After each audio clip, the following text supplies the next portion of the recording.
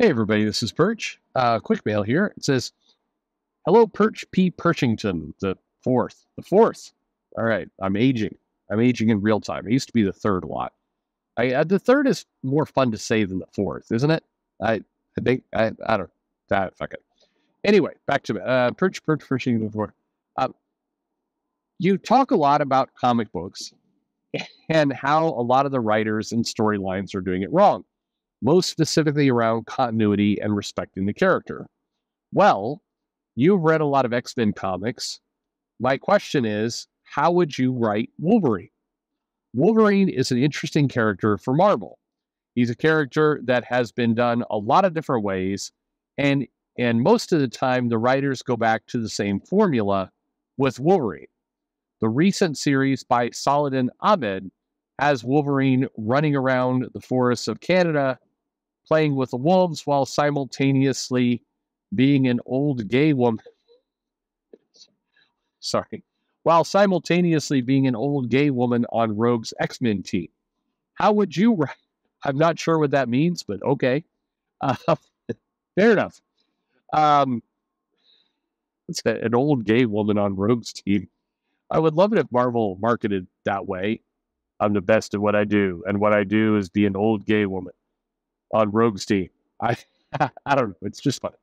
Anyway, all right, all right. How, how would you like? How would you? Okay, how would you write? Out. Okay, how would you write Wolverine if you were writing for Marvel? Okay, I skipped a couple pieces there, but that's okay. We got the idea. All right, how would I write Wolverine? Well, uh, full disclosure, you know, I read all the X Men comics. I don't think Wolverine was ever my favorite character. I like the character. Don't get me wrong. Um, but in terms of like the other characters in the X Men, there are a lot of more interesting characters in Wolverine. I think Chris Claremont understand uh, understood at least at some level that Wolverine was a great foil for other characters. He was an A-list character, but he was often used best when promoting up others. It's kind of like, um, and you know what? I, oh, I found a good way to use this analogy.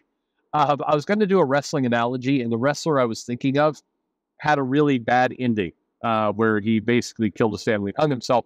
So I won't use that wrestler. I'm going to use a different one. Uh, so Wolverine to me is a little bit like Eddie Guerrero in the sense that Eddie put on great matches. He was a superstar. He did absolutely tremendous things. He was a he was a huge, huge draw. But one of the things he did better than nearly anyone is he'd make other people look good. So Chris Jericho early in his career was fairly limited uh, as a wrestler. And, you know, wrestling Eddie Guerrero, Eddie not only made himself look good, but he was able to make his opponent look good. And to me, that's a little bit about what, pardon me, uh, sorry, sorry for the sneeze. I should go edit that out. I won't, but I should. Um, Eddie Guerrero uh, is like the Wolverine of Marvel to me. Now, if you're a wrestling fan, maybe that means something and you agree or disagree, but whatever. I was going to say Chris Benoit, but you know, I mean, yeah. Um, but enough said. Um, so how would I write Wolverine? Um, again, I still like the character. Not my favorite X Men, X Man, uh, but I do like the character. So first of all, what I would not do, and I, I can say this relatively quickly, I would absolutely not send him back to Canada to run around naked with the wolves. I, I just I, there's nothing. It's it's reductive. It's stupid. It doesn't make any sense. There's not a world where Wolverine's like mutants have been treated bad, so I'm just going to hide out Canada with the wolves and run around naked. That doesn't make any sense for the character at all. It's just stupid. So I, I definitely wouldn't do that story. I think that's that's going to do nothing but not so. I've, the problem is, even if you get readers who do not have the history with Wolverine, they're gonna pick up this comic like, what the fuck is this guy? Like, he's supposedly one of the most badass. He's been an Avenger. He's been a like world renowned hero and everything else, and he's he's running around naked with the wolves because he's tired of society. Like, this doesn't make any sense as a story. It just doesn't. I'm sorry. Um, new readers, old readers, none of it. So what I would do though is I would basically I, one thing I would try and do is is reclaim a lot of the different versions of his past. So Chris Claremont had him be kind of a, a spy-like character when he was Patch. Um, he's been an Avenger. He's um, led a school in Jason Aaron's run.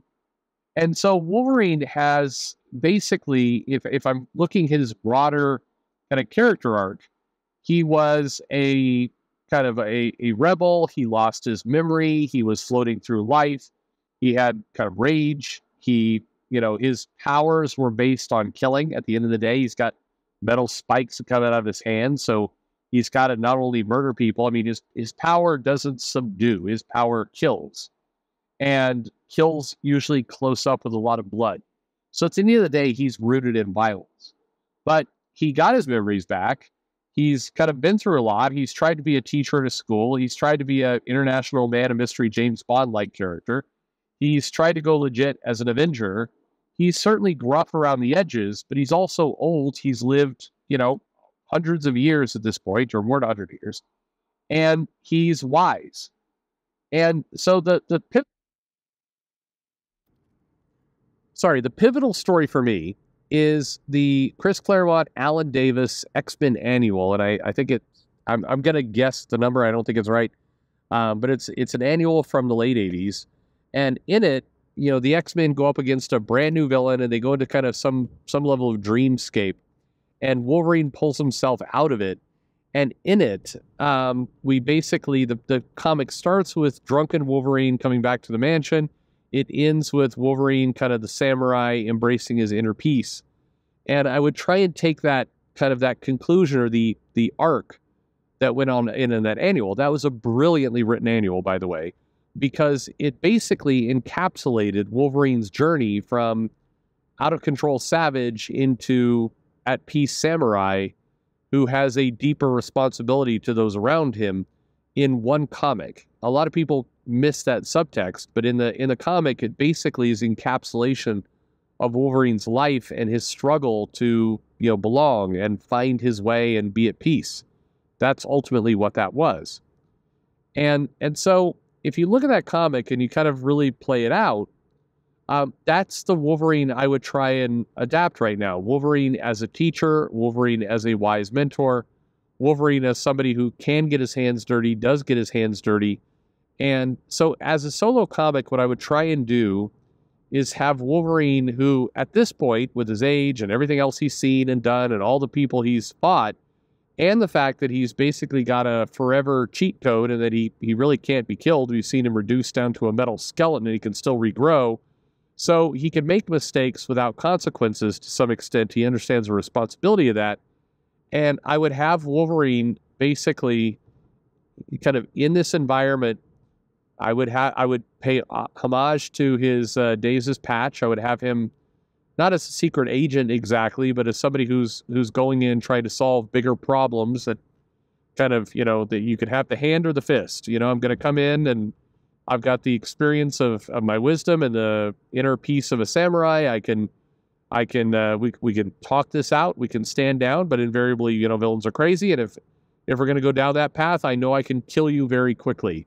So I would try and portray Wolverine as an extremely dangerous superhero. He's somebody who is, you know, willing to kind of de-escalate, willing like I'm coming in and I'm going to solve this problem, and we can do it kind of literally the easy way or the hard way. I would give him the confidence that we've seen in previous Wolverine comics and X Men comics to say, I, I know I can solve this problem. I've got the you know the the power set. I've got the you know the the weapons at my disposal. I have friends. I mean, at this point, I know everyone in the Marvel universe. So if the situation gets too bad, I can call the Fantastic Four or the Avengers or Cap or Iron Man or the X Men or the Silver Surfer. Fuck it, I can. I know everyone.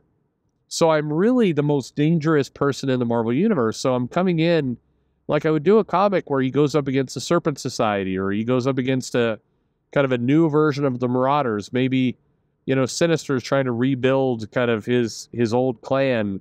Or maybe somebody who's stumbled across Sinister's notes is trying to make a, you know, a, a half-assed hacky version of the Marauders that is uh, more dangerous, more explosive because they're just not fully baked. And so Wolverine's got to come in to fix this. And he's basically like, look, um, I'm approaching this situation. I, I wouldn't have, by the way, I'm, I'm saying this out loud. I wouldn't have like Wolverine saying this out loud, But I basically, when Wolverine entered the scene, it would be basically as the most dangerous man in the entire Marvel universe. I'm somebody who's coming in, and no matter how this goes, like I can rip you all to pieces with my claws. I can you can you can completely annihilate me with bullets. I'm still gonna stand up and survive because you can't stop me.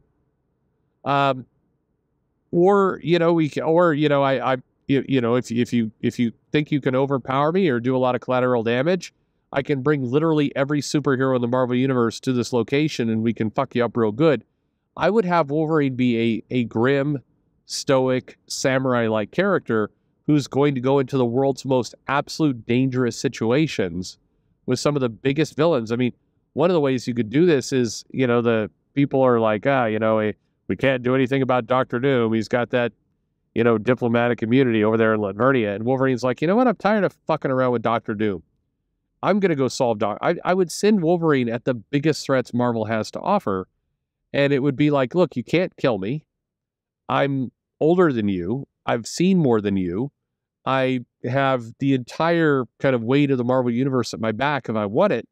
And I like like let's let's go. Let's throw down and put Wolverine in incredibly dangerous situations.